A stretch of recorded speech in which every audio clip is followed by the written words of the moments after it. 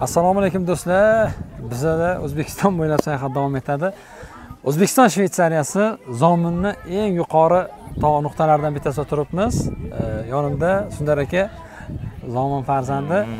Sundar akadan iltimos qildik. Zominni tanishtirishda o'zim man jizzax bilan bog'liq bo'lgan sayohatimizda hamroh bo'lishga iltimos qilganmiz. Bu kishi bu hududlarni juda yam yaxshi biladilar tarixiy madaniy arxeologik obidalar bo'yicha mutaxassis. Shundan kelib chiqqan holatda ulardan yordam so'raymiz va sundar aka assalomu alaykum. Va alaykum assalom xush biz kelibsiz qayerda turibmiz hozir? Ayni turgan joyimiz zominni pulvaqor tog'lari shovkar tog'ni ustida turibmiz hozir. Bu tog'da endi ayni kelgan manzilimiz nuqtamiz bu ming yillik archa deymiz ming yillik archani olib ko'ramiz mana. Qani? Mana shu archa. Ha bu archa. Ming yillik archa mana shu bundan tashqari yana tabiiy yodgorliklarimiz mm, ming yillik deganda rostdan ming yoshmi yoshi qanaqa buni?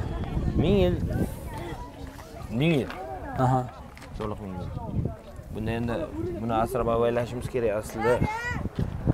Atrofini yana ham kengroq o'rab aha. odamlar buni ushlasa tanasiga anaqa qilsa ta- tabiiy anavi zarar yetaveradi aha.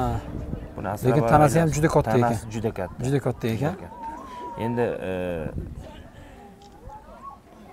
qanaqadir anavi yosh bolalar ixlos qilib boshqa qilib buni osilishadi. Aha yaxshi niyat meni qilishadi umrim shunday. Ming. yoshga ming yoshga yetguday o'shaning uchun bolalar osilyapti o'shaning uchun bolalar osilib turibdi Voy, ko'r- e'tibor bergan bo'lsangiz. Chavkar tog' chovkar nimaga chovkar deb ataladi? Chavkar otlar. Otlari uchqur aha. Shu qoraboyir otlarini makoni. Uchqur otlari makoni. O'shaning uchun degan Chavkar tog'. bu hudud pastda ham tog' turibdi mana. Bundan buyog'i mogizar tog' hisoblanadi. Mogizar tog' mogizar nima degani? Morguzar degani bu ilonlar vodiysi. Aha. Ilonlar bu vodiysi tomonda ham sayohatimizni davom ettiramiz. Ilon ko'pmi bu yerda? Ilon ko'p. Shuncha odam yuribdi chaqqolmaydimi chaqqanmi bu o'zi? Ilonlar mehmonlarimizga teginmaydi. Mehmonlar hurmat qiladimi? Xuddi shunday shunaqa. Yonib aha. Voy. mana mana bu yerda o'tiradigan joy bor ekan. Orqamizda tayyor manzara. Ajoyib. Ajoyib. Bu bittami shunaqa? To bu mingga tabiiy yodgorliklarimizdan bu hududimizda e, milliy bog' hududimizda Aha, e, bobo yong'oq bor. Bundan tashqari e, bir yigirmaga yaqin e, tabiiy shifobaxsh buloqlarimiz ham bor. Hammasi davlat muhofazasi ta'minlanib hozir e,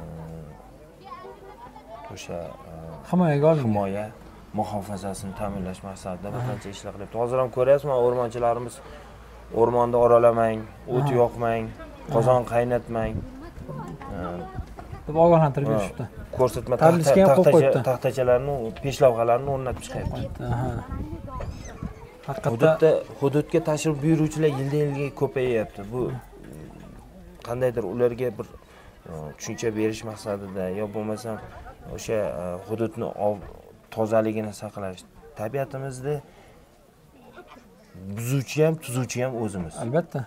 O'shaning uchun e'tiborli bo'lib turib masalan sayohatga kelganlar ham sayohatdan qaytayotganlar ham o'zlarini e, chiqindilarini o'zlari bilan paketlarga solib olib ketsa man juda bo'lmaganda Xursand bunaqa mana idishchalar tayyorlab qo'yish o'rnalar uchun o'rnalar o'rnatilgan o'sha o'rnalarga tashlab. Shunaqa qilsa chunki biza mana hozir zomindamiz.